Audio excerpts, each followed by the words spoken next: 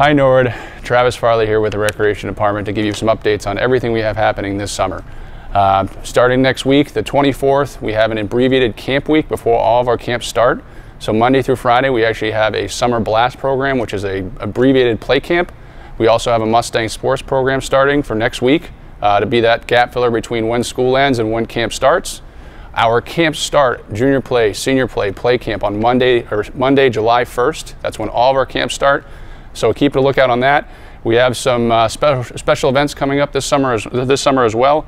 Wednesday, July 17th and Thursday, August 15th, we're going to have movies in front of the high school. Those are going to be at dusk, so if you're looking for a fun family night, free of charge, free, free admission, um, come check it out. And we also have our Day of Hope Carnival on July 26th. That's a Friday. That's open to the public on Friday during the day at Hawes Pool. So there's some fun special events that we have coming up and our play camp starting.